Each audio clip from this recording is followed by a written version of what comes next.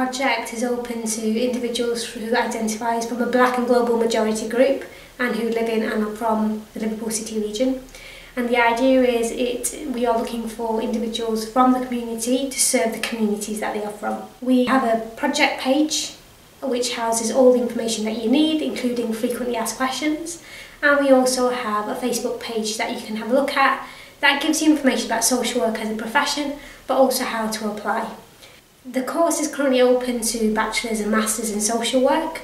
And for students who are come through this pathway, they will have a designated professional mentor who's a social worker and who identifies from a black and global majority group.